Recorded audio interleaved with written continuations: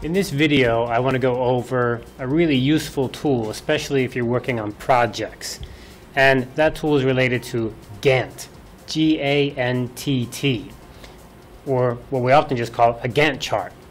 Maybe you've been in a project before at work or at school, and somebody has told you you need to turn in a Gantt chart. So a Gantt chart, I think, what is it? Most of us probably have some idea. Let me start out with Gantt himself, and this is the man right here, Gantt. That's the name it's taken from, and he is the one of the inventors of the Gantt process. There's a few, but this is the guy who really made the chart for the Gantt chart. And this would be like in the 1910s. So that's where the name comes from. That's not too unusual. But what's it all about? Well, you've probably seen Gantt charts that look something like this. That is a number of lines that are showing some times to do some jobs and they kind of link together from the beginning of the project until the end of the project. So that's what a Gantt chart looks like. Just some lines that tell you what different jobs are and how they interrelate. That's the basic concept. Well, outside of the basic concept, uh, how do we find out or use the detailed concept. How do we actually get down to work to use this? And that's where they things get to be a little bit problematic because it can get very complicated. So certainly there's software to solve this. And if you use a project management tool from Microsoft or from Oracle or one of these big companies, and those tools can be ex very expensive project management tools. I'm sure they include Gantt processes, Gantt charts, uh, flows, critical paths, things like this. What about for regular people who don't have access to that kind of expensive software? Or what if your organization just wants to save money and, you know, have a good tool? Well, I'm going to introduce to you what I think is a great tool that I've been using for many years now, and that is Gantt Project. And you can find that at the website ganttproject.com biz. So Gantt, G-A-N-T-T, project dot B-I-Z, biz. Gantt project is an open source project. It's free software in the sense that it doesn't cost anything, but I also think there's a team of people working on it and they um, the code is open and you can you can uh, give them feedback and input and things like this and they can they can um, try to modify. What's beautiful about this software is it's uh, written in Java, so it can be used on any platform. Um, a Windows machine, a Windows, uh, Windows box, a Mac, Macintosh box, a Linux box, which is what I'm using today. So you can use it anywhere as long as you can run Java, and it just works great. So what I want to do is I want to show you how to use this program Gantt project. Very, very basic. The best way, of course, to learn anything is to get your hands on it and, and use it, try it, practice. That's especially true for software. And Gantt project has so many features and so many abilities. Lots of times I use it in class and my students will do something and I have to stop the class in the middle and say, hey, how did you do that? That's really interesting. So you really learn by doing in this case. But let me show you the basics of it to get you started. So of course the first thing is you need to go to the website and download it. So you go to the website and download it and then execute it on your machine. There's a great big download button right there and you can go ahead and install it. Now once you've gotten installed and you open it, this is what a blank project looks like. And let me just open up a project that has some work in it so we can get a kind of reference point here. This is what a project looks like with some data in it. You can see the lines here follow a kind of schedule. We're beginning over in April, and then May, June, July, August, September. So it's a day by day, month by month. It could even be hour by hour. You can get really specific but generally we're just going day by day here. How many days is each part of this project taking? On the left side are a list of the tasks or activities that have to be done. And here it doesn't look like that many, but actually they're all compacted down. So I can expand those, and now you can see there's a lot more detail. This is a student's example. Uh, a lot more detail you can actually get by expanding it.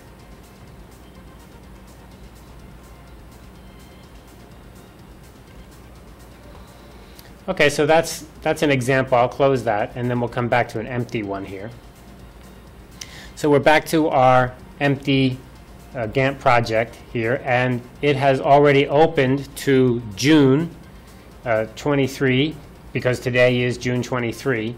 So when you begin with an empty one, it's going to open up, go right to the day you're at. Now, you don't have to use that day. You could be planning a project for the future, in which case you use your mouse, and as long as you're on the timeline here, you just click and drag it back and forth. So you're moving the days and the months back and forth by clicking. In this side here, you cannot move it back and forth because there's going to be a list of activities, of jobs to do. On this side the timeline, you can move it like a, like a movie strip or, a, or some pictures. Now up in the top here, when you get over the date, if you use your scroll wheel, that is you move your mouse wheel, you can zoom in and out. But this zooming in and out, what it does is it compacts it and puts years and months together in a smaller, smaller space. Or you can zoom in and get down to individual weeks and individual days. So moving your mouse up to the top and scrolling will do that for you, zooming in and out. There's also a couple buttons here, zoom in and zoom out. So what I like about this program is almost everything you do has more than one way to do it. And that's pretty common in open source software because it's, it's, very creative and really helps you to overcome your learning problems when you first begin. So there's always more than one way to do something. And the way I'm going to show you today is not the only way. There's multiple ways for almost everything here. Okay, we're going to begin by just adding just one little thing here. So what we can do is we can come over to the task area on the left side and right click. And there's a context menu that pops up that says new task. So I, I right click and get new task. Now of course I can go up to the menus also and our menus has a task menu and in the task menu there's a choice for new task. So exact same thing. That's what I mean about there's more than one way to do something and then you have to give the task a name. So what I'd like to do is give you an example that my students are often working on, which is their research work. So their research work has, usually for graduate students within two years, they have to get all their research project done, including a dissertation. So how would they make a schedule? Well, maybe one thing they would do is they would uh, choose a professor. So maybe that's one task they need to do. Choose a choose an advisor, I should say.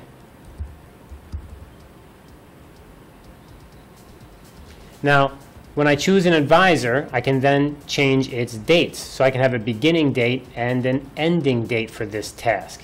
And you can see here we have a beginning and date ending date. By clicking twice, double clicking, I open up a panel that has all of the details including the name and the beginning date and the ending date right here. Or you could just have the beginning date and then how many days is this going to take for me to do, to complete. Or you could set it with this checkbox here as a milestone. So a milestone is really a key idea because a milestone means this date is a date I must meet. So a milestone is usually used for measuring uh, how much have you gotten done or getting to a certain point and you have to make sure you get a certain part done there first. I mean, some simple example is you have to put on your socks before you put on your shoes. So if you're trying to plan out putting on your shoes, maybe one milestone is check to make sure your socks are on. So this has to be done first. So in the case of choosing an advisor, the situation is more like there might be a day that you have to have this done by. It has to be done before that day. So you could check milestone, and that will set that date as being the date that must be done at, and it will not move. So let me just go ahead and uh, say that I'm going to not make it a milestone, but rather I'm going to say I'm going to begin looking for my professor in the summer here in June from June 30, and then I'll see if he's, this is not very realistic, right? And I'm going to give myself maybe 20 days to do that. Totally unrealistic. I'm just making these things up. Okay, so I'm going to give myself 20 days for that, and then I can choose things like priority, how important is this? I can also choose to show in the timeline or not have it inside the timeline. I can change its colors and its um, whether or not it links to something else. There's many options here that are really cool. Predecessors is a tab. Up here we have some tabs.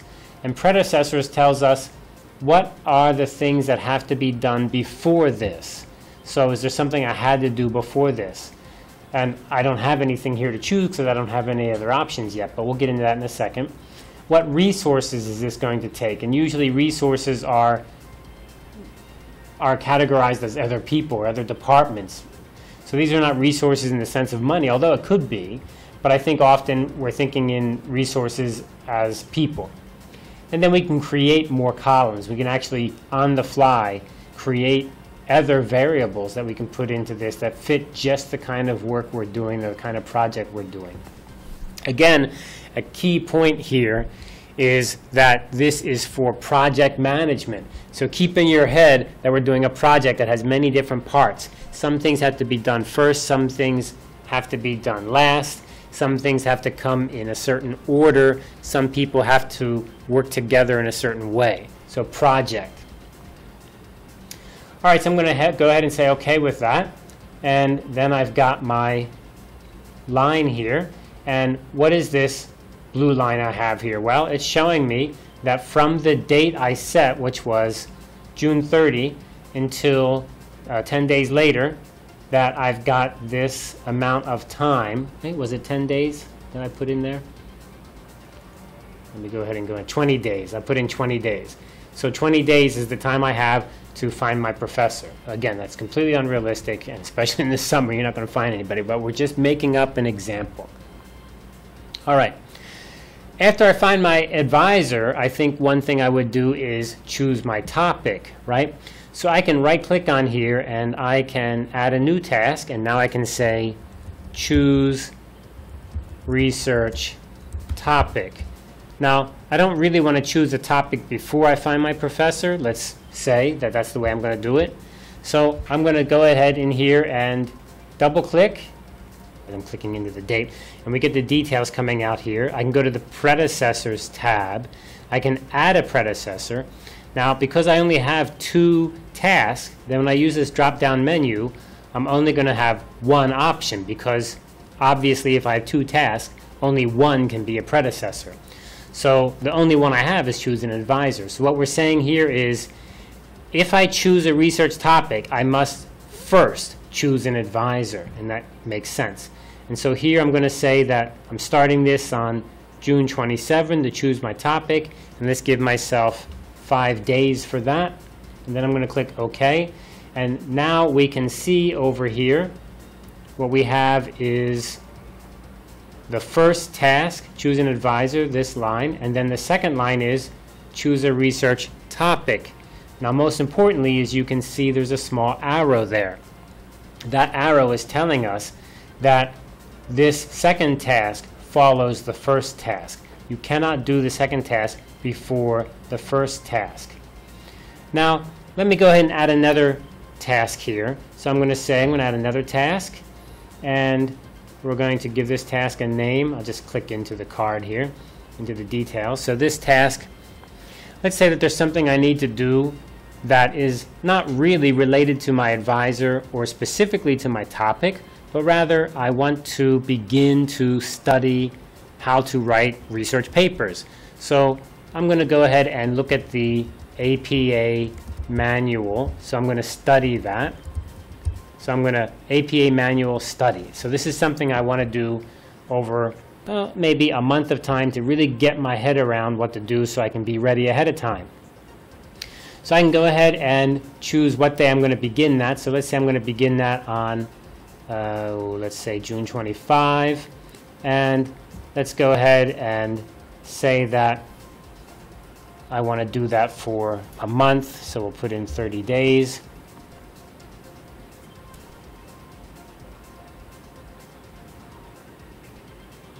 I'm going to say OK. Now you can see I have this APA manual study which is going on outside of this arrow. There's no arrow. So this is a good example of a Gantt chart does not have to have everything linking to everything. Not everything must have an arrow linking to something. And in fact, not everything needs to be done depending on another thing. In this case here, what I've done is I'm studying the APA manual, I'm studying to get ready for something. At the same time, I need to find my professor, choose an advisor, and then choose a topic. So these are not dependent on each other, they're separate, but they can run during the same time. So in this case, the uh, graphic is very clear in that it lets us uh, have this APA manual study on the outside here, not connected by an arrow basically. Now we can go ahead and we can move these around. We can actually move them up and down by just grabbing them. So I can move them around. We can also make subcategories. So let me get that one out of there again. I just made a subcategory by accident. In fact, I can click one and use these arrows here. So I can push APA up. Now they're all equal. Okay. And I can push it down to another level, push it up a level, move them up or down using the arrows, or you can move them around dragging them with your mouse. So again, as I said, there's many ways to do it. And if you look here, you can see what I just did by accident, is this second line is studying the APA now. The first line is choose an advisor. You must choose an advisor before you can choose a research topic. So you can see the arrow jumps over the studying APA manual. So it's independent of those. It's linked to time because I've given it dates, beginning dates, and then a 30 day uh, duration, but it's not something that has to be done before the rest. And in fact, I could change that. So I could go ahead and grab it and move it, or move the ends, I should say. I can get to the very end. Now, this is the only thing about the program that is a little bit annoying. It's difficult sometimes to grab just the right space, the right end. I'm going to move my mouse to the right end, and I want to grab it. You got to wait for your mouse to change that little arrow and line, and now I can grab it and move it that can be frustrating sometimes, especially if you're on a notebook and your screen is tiny and your mouse is jumpy. So what I've just done is change the beginning and ending dates just by using my mouse. I did not need to click in. Now I could click into the details and change the dates and duration anytime. Now, one thing to mention quickly here is you can see the beginning date but the ending date, why don't you put in an ending date? Well, the reason is because Gantt charts are based on how long does the job take. It's not a question of the date that you want it done. It's a question of how long does it take. Then you add up how long everything takes. Then you're going to know when you can be done. Or you do the opposite, which is you have an ending date, something that has to be done by a certain date. This is the ending date for my students. It's like graduation day, their their um, exam day, their final uh, oral presentation for the thesis, defense day. They have to be done by that day. So then you take all your jobs. This takes 30 days. This takes 20 days. This takes 40 days, and you go backwards from there, and then you know when you need to begin. So it's really about how long each task takes, and that's a fundamental part of Gantt. It's not based on what you wish you could do. It's not based on how long you would like things to do. It's based on how long the task each one actually takes. So my examples are, are not a great example because we should have something that's a little bit more um, solid in the time it takes to do. But anyway, let me continue on, keep it easy to begin with. So we have a duration of 14 days now on this. So I could have come in here and manually changed it, or I can use my mouse and grab the end. So I can just go to the end of this task and pull it down and it's getting shorter and shorter. Okay, wonderful. Now, another really cool thing you can do here is you can actually move your mouse to the left side and when your icon changes to be a little percentage mark and a black arrow, it's hard to do, it's jumpy, percentage mark, you can then click, left click, and pull, and you get a black line right in the middle of your task. What does that black line mean? It's percentage complete. If you pull it all the way to the end of the box, what do you get? 100%. If you pull it halfway, what do you get? 50%. So if you pull it about one-tenth, what do you get? About 10%. So this actually is something you can do to track your work because every day that goes by, you can say, I've got this much done. And then on this task, I got up to there, so there's that much done. Now, this percentage is a really handy feature, but again, you've got to be careful with your mouse. It's very jumpy, so you get to the side, and there you go. I've got a, an arrow with a line. That means I can grab it and move the beginning date. If I move my mouse a little bit up and on the left side I get, oh no, it's not coming out. Oh, this is really hard sometimes. Oh, oh, oi, oi, oh, I, oh, oh my goodness, when I need to do it, I can't do it, right? Oh, oh, I know what I was doing wrong. Because I already have the black line, I need to move my mouse over the end of the black line. Ah, I see, okay. See, I'm learning something every day myself. When it's on the end, 0%, then you grab the end. If it's not on the end, you have to grab it where the percentage is. Okay, got it. Wonderful. So that's pretty easy to understand. But here's where the features of the program really come in to great usefulness. Let's look at the example of we have our choose an advisor, and then choose a topic. I'm going to move APA manual up a level, so, um, not up a level, but up to the top. So they're on the same level. They're all both on, they're all three on the same level.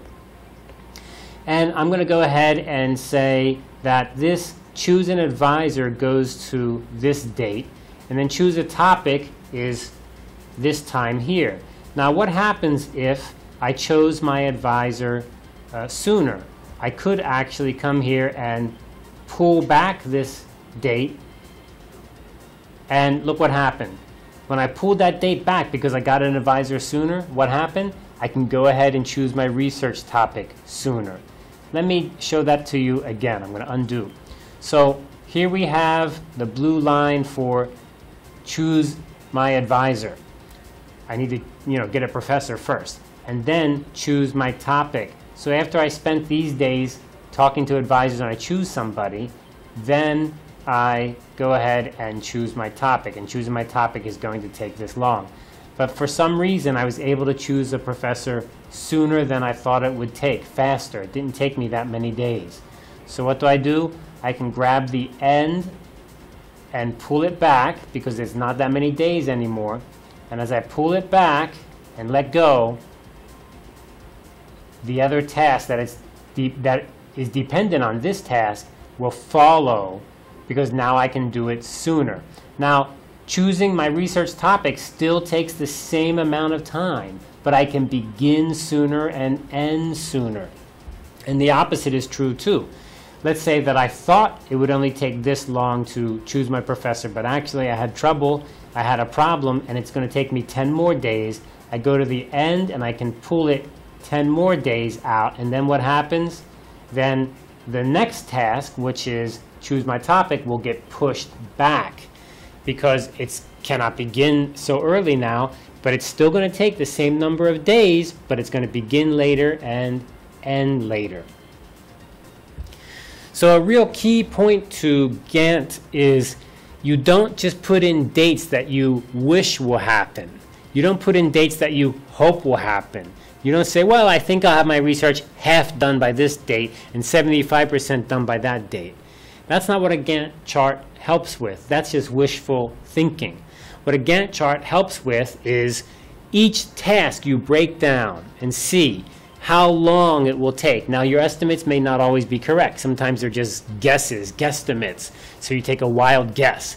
And as the time gets closer, or as you do that task, you can adjust it now, if it's connected to another task, then that task will move forward or back automatically. Now, of course, if you have a final due date that you cannot go past, as you move task around, there's going to be a problem because those other tasks may push over that time. So you need to readjust their times, which is kind of strange because they should not be wishful thinking. They should be realistic estimates of how long it takes. So if it takes you two days to write two pages, and up here you have two days to write another two pages, well, if you take longer, you cannot just guess that, well, I'll write these two pages in uh, 20 minutes should be enough. That's wishful thinking. That's not realistic estimating of those times, you see.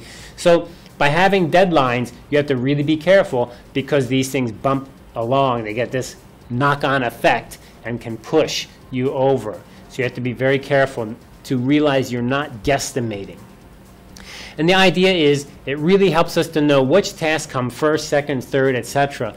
And then when we're done, what we can move on to. And hopefully if we get some things done earlier, we can pull things back and then the whole project can move back a little bit.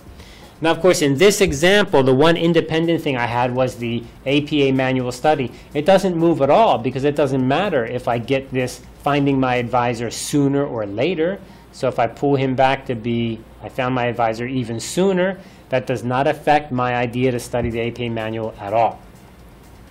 Now, one more thing very quickly is we have these arrows. I, we just used them by accident, actually. I can go ahead and create topic areas or big groupings of areas. So for example, I can say that I have a task and that this task is going to be a section that I'm just going to call advisor. So this is stuff to do with my advisor. And then I can take this advisor work and push them down one level. So now that choose an advisor and choose a research topic is under the general topic of advisor. And you can see what happens when you do that. When you have a level one, and then inside level one, you have other topics inside that level, you get this black line here. And what this black line is, is showing you is the beginning and the end of this whole topic. So the whole job of, of advisor includes these two sub jobs. And so their total time is there. And then on the left side, I can use this little minus or plus to expand or compact. So if I compact, I can quickly see advisor is going to take me this much time, all my advisor work. What is my advisor work? I need to expand it, clicking the plus button, and I can see choosing advisor is all of this work here. In this case, very simple, just two jobs. Okay, so that's a real basic. I don't want to overload you with things. I think you go in and try it out, you're going to find it's very intuitive, very easy, and once you understand those basic ideas, you've got it down. I'm going to show you a few examples from some of my students, and then we can see what's positive and negative about these. So let me go ahead and open some examples I have. I'm not going to save this.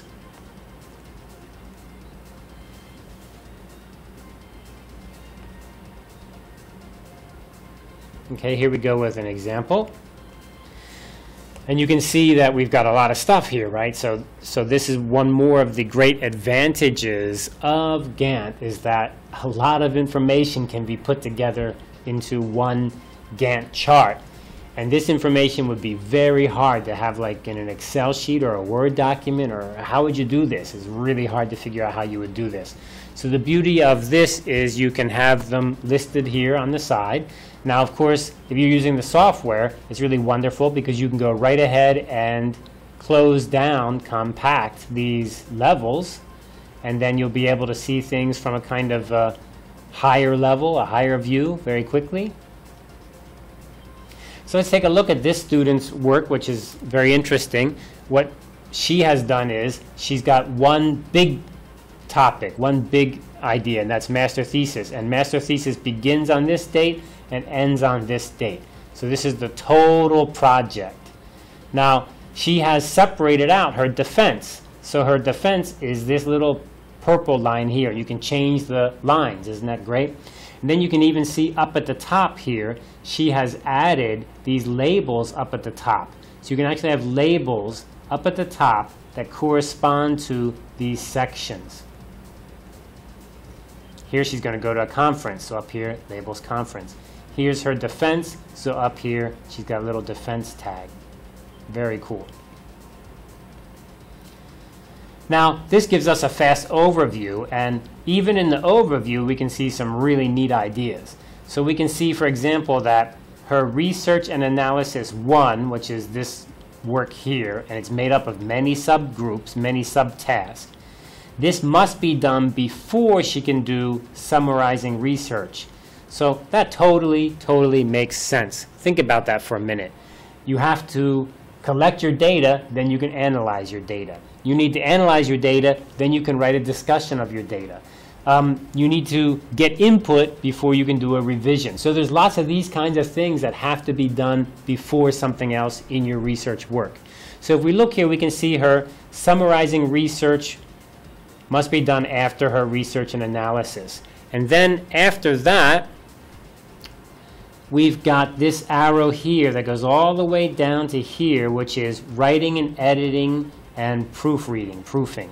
So what she's saying is that first she has to do her research and analysis before she can begin summarizing the research. And then after she summarizes the research, then she can begin working on the editing and proofreading. But also, she has some other tasks that link up. So she must do research and analysis too. Now, what's this about? Her research, I know this, this uh, student's research, she has two parts to her research, two data collection uh, sections. So she's going to research and analysis again, and then she has to do that before she can summarize. You cannot summarize and before you have your analysis done. And then when her analysis is done, that also goes into her thesis, and she's going to do writing, editing, and proofing. So this is a great example. We actually have two totally separate separated by what you're doing. She's collecting data on totally separate, um, not topics, well, they're kind of different subtopics. So she's collecting data on different subtopics. It's not the same data. And then she's analyzing it separately. And it's a little bit of overlap on the time. So this is December to May, she's working on this one. And then here, March until August, she's working on this one. So there is some overlap. But the overlap is maybe she did the collection and then, then later she does the collection for the second one. Okay, so both of these, however, go into the final writing of her dissertation, her thesis, which then she also has to do proofreading and editing. So this is a great example of how these two big tasks come together into one overall task. Now, any one of these, we can break them open to get more detail. So, for example, we were talking about her research and analysis. So, if we open up research and analysis, you can see it has many subparts. And each one of these can be independent or dependent on another task. And how do you tell that? By the arrows. By the arrows.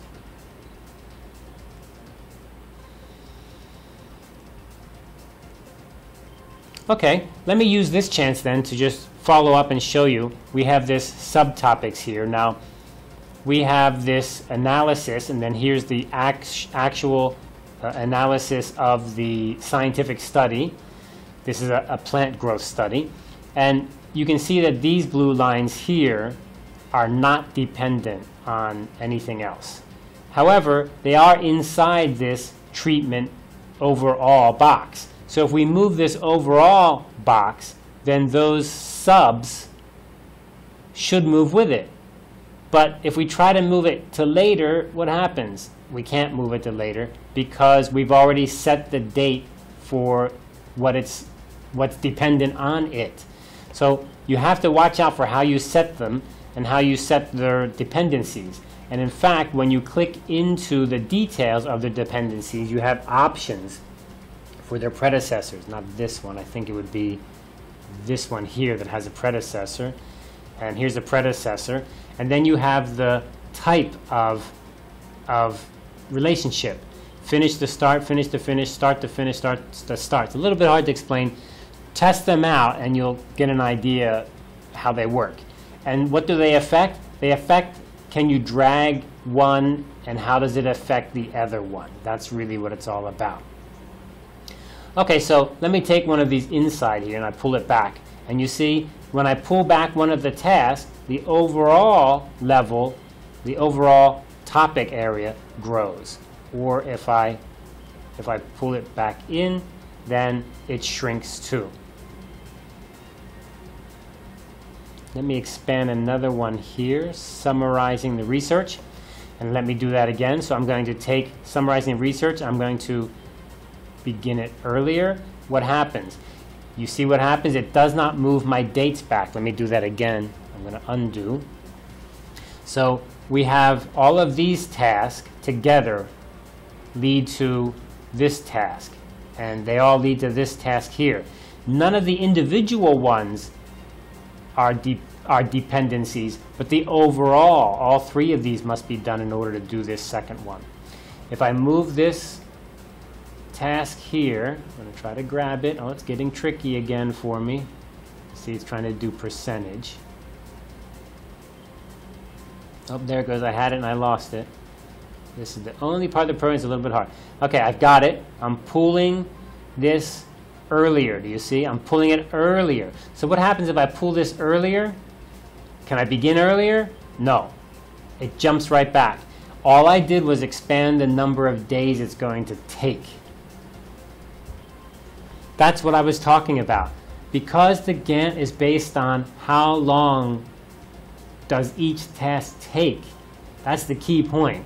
So when I pull it earlier, it can't go earlier if it's depending on another job to be done at a certain date. You cannot get done earlier than the ending date of the job you're dependent on.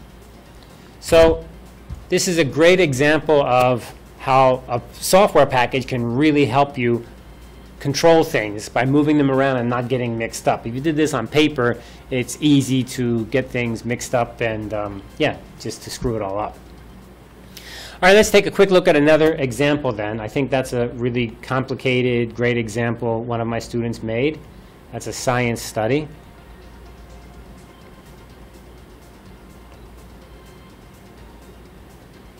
Okay, here we go. So here again, we've closed down, we've, we've made the levels all compacted. So you see these lines with little um, brackets on them. That means we're looking at the high level. We can open any one of these levels and see the sub-levels and the sub-sub-levels. Very detailed. And this helps us to see on the big topics what's related to what. So here we have collect data and information that must be done before data analysis. Of course, that makes sense. You cannot analyze data until you've collected it. So here you collect it, and when it's done, you can begin to analyze it. Here we have meeting with advisor. Meeting with advisor is this red line here. I could expand it to be sooner or later, or last longer, and it should not affect other parts because it's not dependent or depending on anything. Let's open this meeting advisor up. And what has this student done? Well, she has, she or he has actually lined up, looks like a weekly meeting with her professor, which is great. So here's the weekly meeting.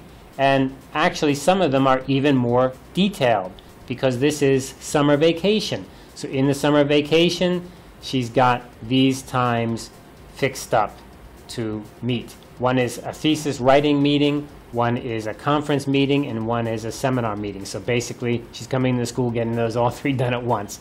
And then these others are this meeting, meeting, meeting with the professor.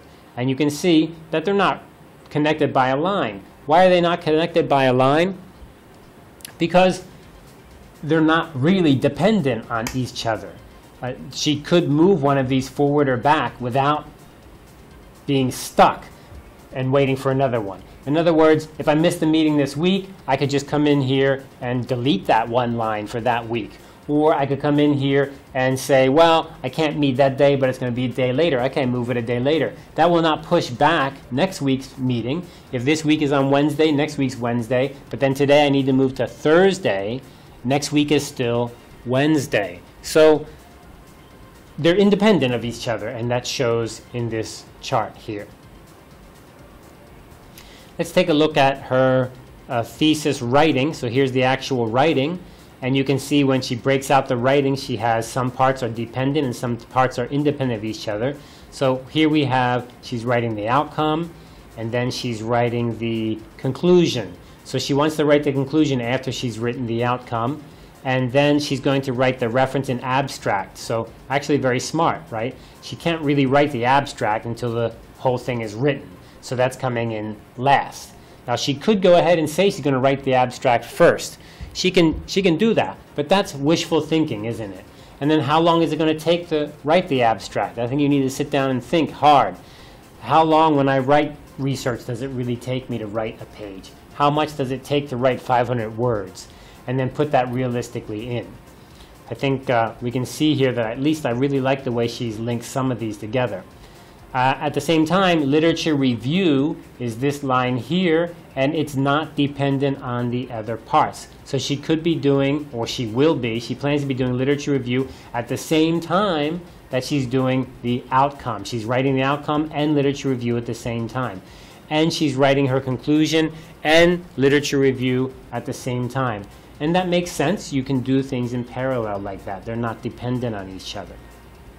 In fact, it's a kind of back and forth, right? When you're writing your research writing, you're looking at the things you're writing about and you're going back to the literature to find more information about the thing you're talking about. So that makes a lot of sense, just like it is.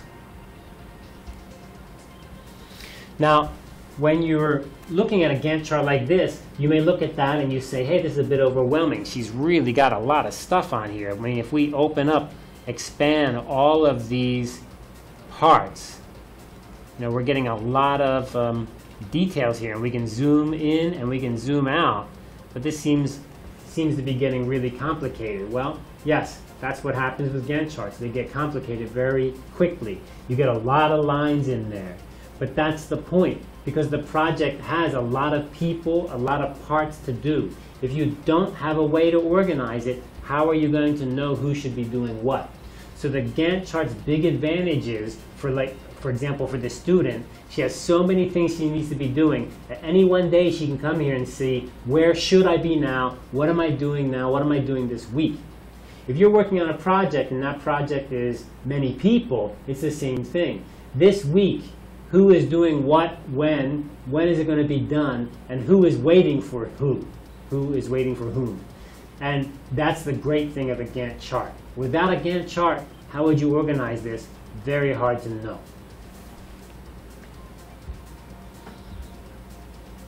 Looks complicated, but I think it's less complicated than it looks. Okay, uh, one more example here. Let me just open up, uh, pop open another one. Got some good ones here.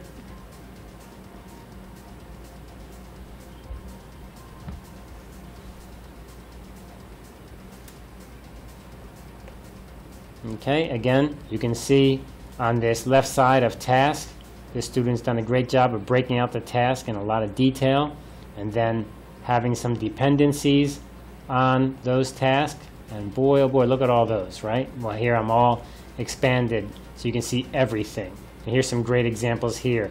We have design the survey. Let's look at this part. This looks wonderful. So we're going to have design the survey. Well, then you're going to have a pretest. You cannot have a pretest before you design the survey, right? So pretest cannot begin until design the survey is done. Thus you have the arrow there. You have the arrow. And then you have the pretest. Then you have the pretest data collection. Then you have modified the questions because you did a pretest. Then you have your regular survey. And you cannot do your survey until you've modified the questions and on and on. Now, let me just grab any one of these here and see what happens. So if we take this pre-test and we say, well, this took longer than I thought it was going to take. If I click here, we can see that it was taking five days. We can actually set it to show days, I think. Let me see. Can we show days? Um, there's a setting somewhere to just to show the number of days each task takes. But uh, there you go. You can click on it also and see it, five days. So this was five days. Let me expand this. So I'm going to grab this pre-test. And again, it's fiddly. I'm going to pull it a bit to be more. And what happened? It bumped up all of my following work. So they're not taking more days, but they have to begin later now. and they have to end later. And that might be a problem if I'm going to have a deadline for some things. Okay. All right, I think that's enough for kind of in introduction. Again, it's called Gantt Project is the software. You cannot really use the software if you don't have a good understanding of the concept. The concept is how to take many different jobs that are dependent on each other, sometimes independent and can be running parallel, or different people or different resources, and map them out so everyone can quickly look together and see it. For my students, of course, if they're doing this for their thesis, how is this helpful? I tell them they can just take this out and show it to their professor. Their professor, they talk to their professor and they take out this Gantt. They say, here's where I am today, and here's where I'll be in 20 days, and here's where I'll be in 30 days. And the professor, professor can look at it and say, you know what? You've set 10 days for writing your conclusion. That is totally unrealistic. A conclusion writing, to do that well, you're going to have to rewrite it a couple times. You're going to have to come see me a couple times. That's going to take 25 days. Change that. And that student can just change that and it will modify the whole project. That's incredibly powerful. Very great for showing, conveying these ideas without wasting time talking and getting confused. On the other hand, if you're doing something with a group of people, you're working together, uh, you have many people or many groups or people who are off location in different offices or even in the same office but on different teams. It's the same thing. Rather than saying, what did you do or am I waiting for you or when are you going to be done, you look at the Gantt chart and you can see, I'm waiting to begin on the 20th. Today is the 19th. I'm waiting because this person must be done task A. And I can call them and say, hey, are you going to be done task A tomorrow? If you're not, update the Gantt chart. So he can say, oh no, I need, I need two extra days. And you say, well then update the Gantt. They'll pull that out two extra days and now you know instead of the 20th, I can begin on the 22nd. So now I'm going to be waiting for the 22nd because I can look on the Gantt chart. And the Gantt charts can get long and complicated, but I can look at it quickly and see my part is this part, and I know these are the things I need to do, and they're waiting for other things to be done. Remember, you can make the sections be indented, and then they become level two or level three. So you could actually have people being those different sections, and then the arrows can cross over to different people. So this person, one piece of his job is dependent on this person, one piece of her job, and those arrows can just come right over. So that's a really great um, aspect of Gantt Project. And again, Gantt Project, downloadable, usable on cross-platform, is at ganttproject.biz. G-A-N-T-T project.biz.